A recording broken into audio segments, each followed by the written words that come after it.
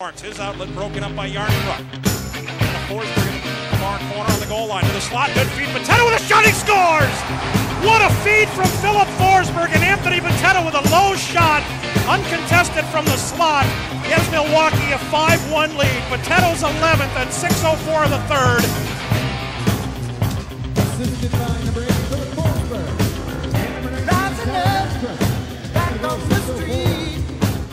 McKegel deflected Percy pass to the far Admirals corner. but Bitetto, and boy, he had pressure coming, but he became the hitter. Instead of the hit, he was Brandon Kozun coming in. Left wing pass, Saponari. Very near hash marks, drops it left point. Rodney, quick pass, right circle. Bitetto, wrister, scores! Great play by Bryan Rodney and a great shot by Anthony Bitetto. 12.51 of the second, Milwaukee's second power play goal of the game. Bitetto's eighth of the year, fifth on the power play, 2 0 Admirals. Roussel lost it. Here's a breakaway for Brad Ross.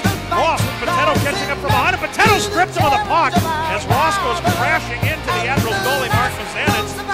17.37 left in the first period. No score between the Admirals and the Marlies. Good hustle by Anthony Bitetto to catch up to Brad Ross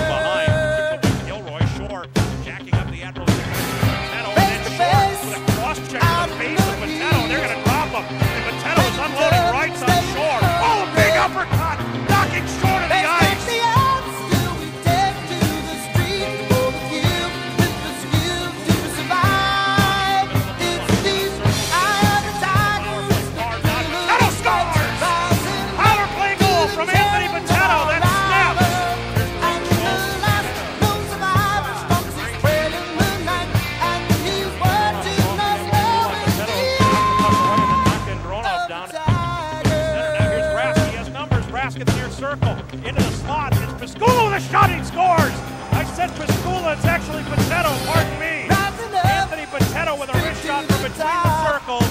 Beats Christopher Nilstorp high to the club side at 5.03, and the Admirals are on the board with Bitetto's third of the year. That's the puck from inside the East Marlies line on the left to the Admirals line on the right. Bitetto knocks Carrick to the ice, and the gloves drop between Bitetto and Morin.